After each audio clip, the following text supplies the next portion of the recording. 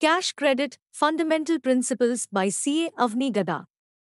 Background Generation of black money and its stashing abroad in tax havens and offshore financial centers have dominated discussions and debate in public fora during the past several years. Members of Parliament, the Supreme Court of India, and the public at large have unequivocally expressed concern on the issue, particularly after some reports suggested estimates of such unaccounted wealth being held abroad. There are several measures taken at an international level over the years to combat the menace of generation of black money and its round tripping. Some of the measures taken at an international level includes establishment of Financial Action Task Force on Money Laundering, FATF, in 1989 establishment of Eurasian Group on Combating Money Laundering at an international level and financing of terrorism in 2004. The international consensus on the need for coordinated action in the fight against the menace of black money requires parallel action at country level. Accordingly, a number of proactive steps have been taken by GOI in order to create an appropriate legislative framework for preventing the generation of black money and for its detection, in addition to introduction of Prevention of Money Laundering Act 2002 PMLA entering into tax information exchange agreement TIEA and demonetization. Section 68 an anti-abuse provision to curb black money and its round tripping. Section 68 of the Income Tax Act 1961 the act is one such anti-abuse provision introduced for the first time by Finance Act 1961 in the Income Tax Act, 1961, the Act, WEF. 1st April 1962, which had no corresponding provision in the erstwhile Act, i.e. Income Tax Act, 1922. However, cash credit has been a subject matter of tax litigation in India much before the introduction of Section 68. Objective of Section 68 as mentioned above, the intention behind introduction of Section 68 was to investigate and prevent any sort of money laundering and conversion of black money and to prevent generation and circulation of unaccounted money and clamp the prevailing practices like a. Concealment of unaccounted cash by showing the same as lent or deposited with them by third parties. B. Showing of unaccounted cash as their own capital contribution. C. Showing the alleged loan as repaid and other illegal practices. Conditions for applicability of Section 68. The existing provisions of the aforesaid Section 68 provides that where any sum is found credited in the books of an assessee maintained for any previous year, and the assessee offers no explanation about the nature and source thereof, or the explanation offered by him is not, in the opinion of the assessing officer, satisfactory, the sum so credited may be charged to income tax as the income of the assessee of that previous year. Therefore, Section 68 can be enforceable only when following conditions are satisfied. A. The assessee maintains books of accounts, and B. Credit entry occurs in such books, and C. No explanation or absence of satisfactory explanation by the assessee about the nature and source of such credit. Each condition is explained in detail below. A. The assessee maintains books of accounts times the word books is defined under the section 212 of the Act. The existence of the books is the foremost condition for applicability of section 68. Times the expression books of the assessee appearing in section 68 refers to the assessee whose books show the credit entry. A perusal of this section would show that in relation to the expression books, the emphasis is on the word assessee, meaning thereby that such books have to be the books of the assessee himself and not of any other assessee. Times in the assessment of a partner, the mere fact that the cash credit entries had been found in the books of the firm of which he was a partner was held immaterial, because the books in which such entries had been found were those of a different assessee. Times the passbook of the bank is not regarded as a valid account books under the section 68. Times rough books are also books. Times loose sheets are not books. Where loose sheets are found, there is usual inference of the AO that they represent concealed transaction. Such inference does not readily follow. It can be positively made only after identification of papers and after due verification. B. Credit entry occurs in such books. Times Section 68 may cover credits other than cash.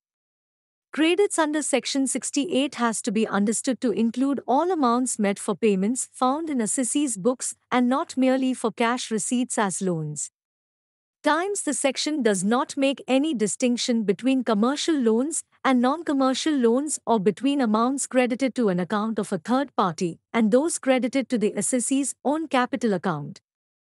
Times the language of section 68 shows that it is general in nature and applies to all credit entries in whomsoever name they may stand, i.e., whether in the name of a assessee or a third party. Times not confined to cash credits, though Section 68 deals with cash credits, it is not confined to credits in cash. Other credits by way of liabilities also requires explanation as stipulated under Section 68, so that when they are not satisfactorily explained, they are bound to be added. C. No explanation or absence of satisfactory explanation by the assessee about the nature and source of such credit. Times burden of proof. Section 68 places the burden of proof on the taxpayer to explain the nature and the source of any credit found in the books. Once the assessee produces evidences about identity and creditworthiness of the lender and genuineness of transaction, the burden of proof shifts to the revenue. Times expression assessee offers no explanation. The expression assessee offers no explanation means where the assessee offers no proper, reasonable and acceptable explanation as regards the sum found credited in the books maintained by the assessee. The opinion of the AO for not accepting the explanation offered by the assessee as not satisfactory is required to be based on proper appreciation of material and other attending circumstances available on record.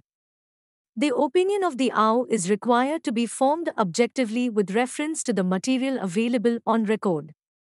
Application of mind is a sine qua non for forming the opinion. Times no burden on the tax officer to locate the exact source, where the assessee has failed to prove satisfactorily the source and nature of the credit entry in his books and it is held that the relevant amount is the income of the assessee. It is not necessary for the department to locate the exact source. No further burden lies on the revenue to show that the income is from any particular source. Times contrary evidence provided by tax officer. If the explanation offered by the assessee about the nature and source of credit is not satisfactory in the opinion of the AO and produces some prima facie evidence against the explanation of the assessee or not matching with the explanation given by the assessee, the assessee has to rebut the same. If assessee fails to do so, the said evidence being unrebutted can be used against him by holding that it is a receipt of income in nature. Times prerequisites to satisfy the AO. The prerequisites to satisfy the assessing officer as explained by Delhi High Court in case of CITV. Lovely Exports PVT Ltd. 2008 299 ITR to 68 Delhi are as under. In the case of a company the following are the propositions of law under section 68. The assessee has to prima facie prove 1 the identity of the creditor subscriber. 2. The genuineness of the transaction, namely, whether it has been transmitted through banking channel or other indisputable channels. 3. The creditworthiness or financial strength of the creditor subscriber.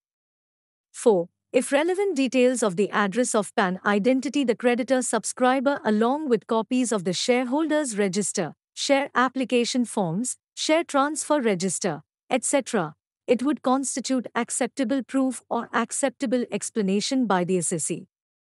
5. The department would not be justified in drawing an adverse inference only because the creditor subscriber fails or neglect to respond to its notice. 6. The assessing officer is duty bound to investigate into the creditworthiness of the creditor subscriber, the genuineness of the transaction, and the veracity of the repudiation. The Hobby Delhi High Court in CITV. Oasis Hospitalities PVT. Limited. 2011, 9 Taxman.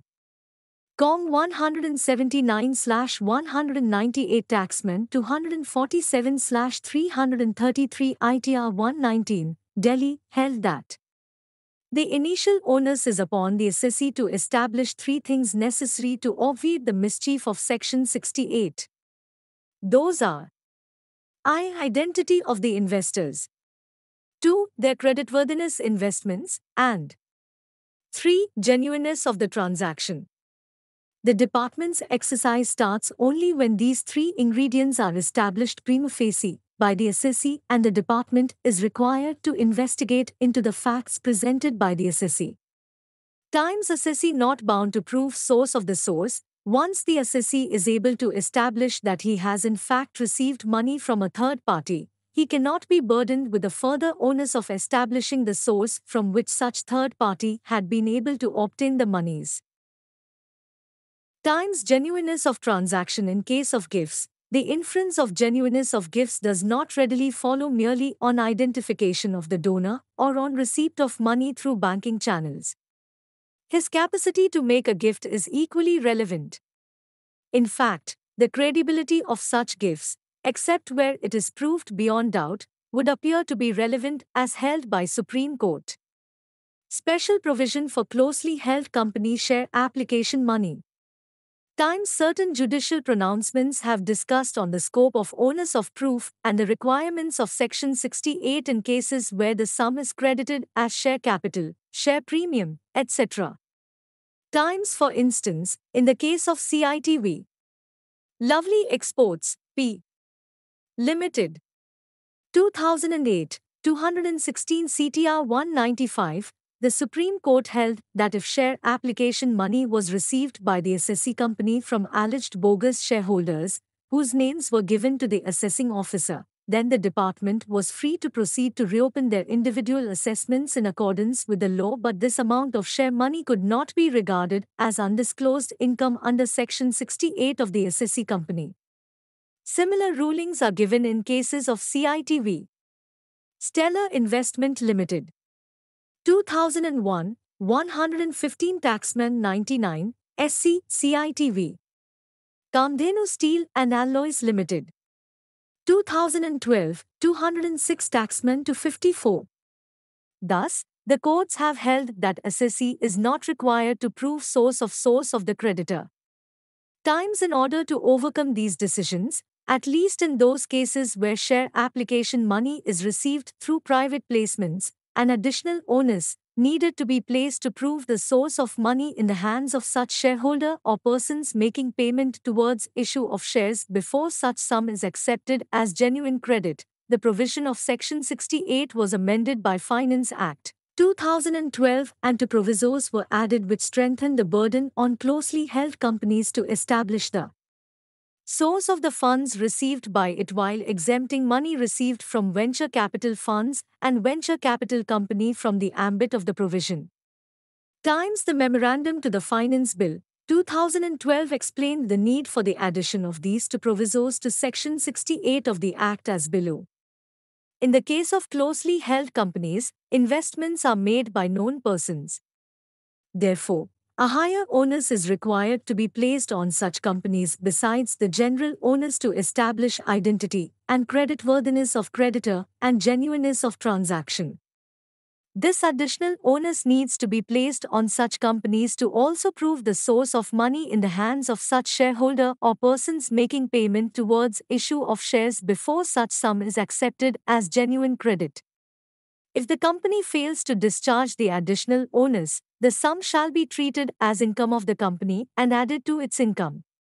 Times the proviso to Section 68 inserted by the Finance Act, 2012 W.E.F.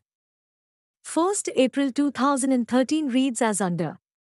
Provided that where the assessee is a company, not being a company in which the public are substantially interested, and the sum so credited consists of share application money, share capital, share premium, or any such amount by whatever name called, any explanation offered by such a assessee company shall be deemed to be not satisfactory, unless a. The person, being a resident in whose name such credit is recorded in the books of such company also offers an explanation about the nature and source of such sum so credited, and b. Such explanation in the opinion of the assessing officer aforesaid has been found to be satisfactory. Provided further that nothing contained in the first proviso shall apply if the person, in whose name the sum referred to therein is recorded, is a venture capital fund or a venture capital company as referred to in clause 23 FB of section 10. Times a reading of the above proviso indicates that it will be applicable to or a closely held company, i.e., a company in which public are not substantially interested and receiving in its books the credit from a resident. Or the sum so credited should be of the nature of share application money, share capital, share premium, or any such amount by whatever name called. Or explanation about the nature and source of the credit would not be deemed to be satisfactory, unless Person in whose name such credit is recorded offers an explanation about the nature and the source of such credit, and explanation by such person is to the satisfaction of our or where the creditor is not able to satisfactorily explain nature and source of the credit in the books of the assessee, then such sum shall be treated as income of the assessee.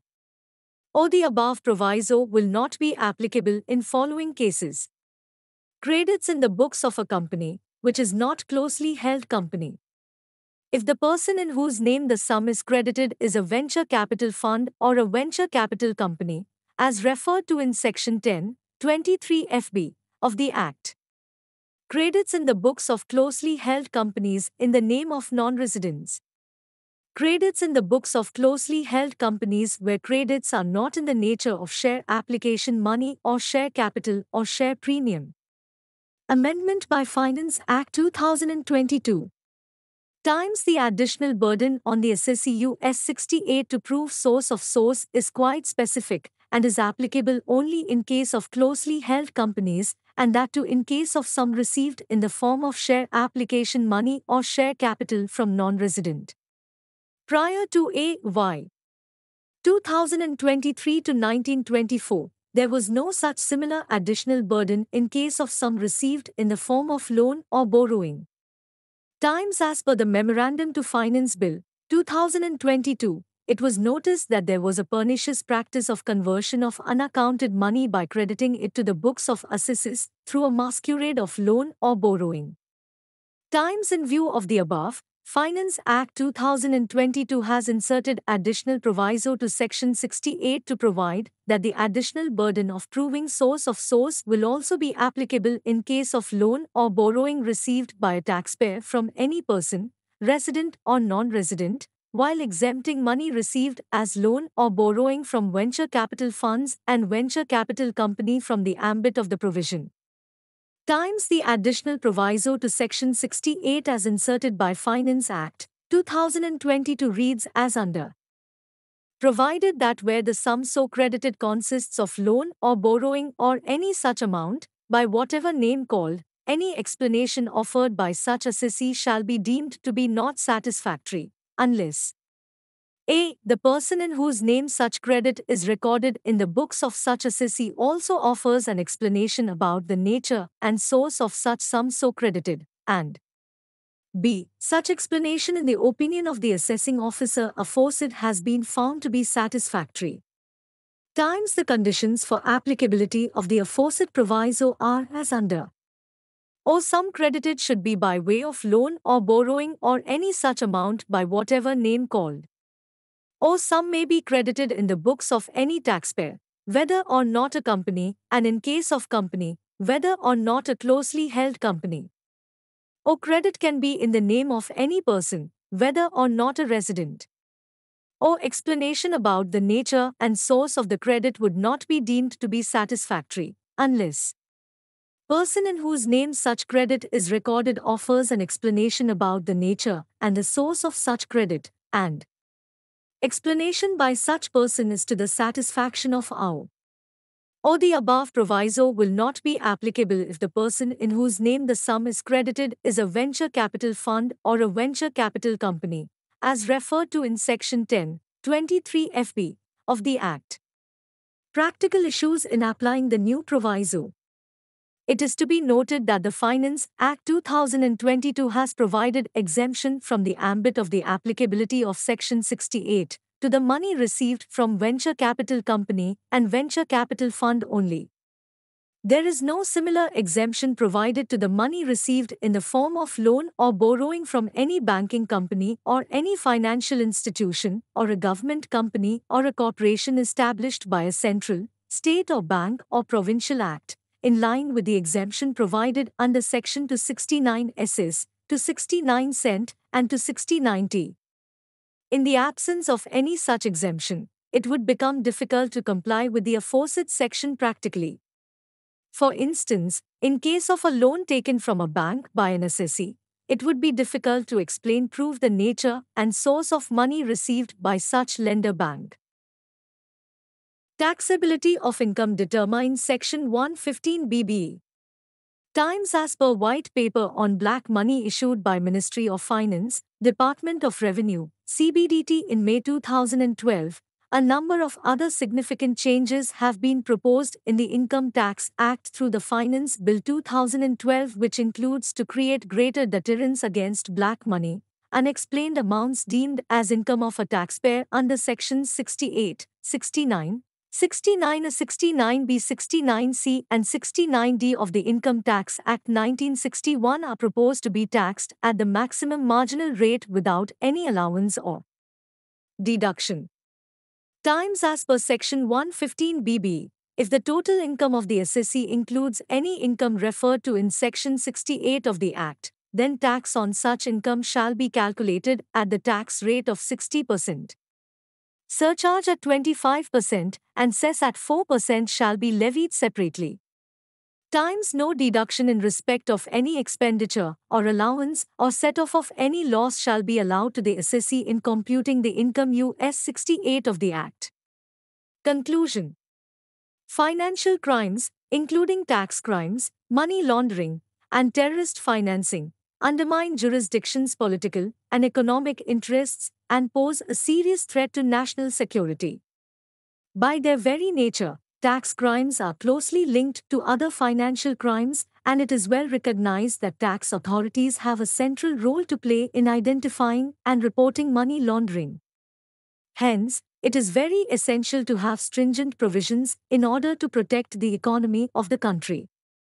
Though Section 68 of the Income Tax Act 1961 does well in this regard, and there is a clear message from government to combat the practice of generation of black money, there are practical challenges relating to amendment made by Finance Act 2022 to prove source of source in case of loan or borrowing from financial institution. Some relaxation in this regard from CBDT will be a need of an hour. Disclaimer The views opinions expressed in the article are purely of the contributor. The readers are requested to take proper professional guidance before abiding the views expressed in the update. Association disclaims any liability in connection with the use of the information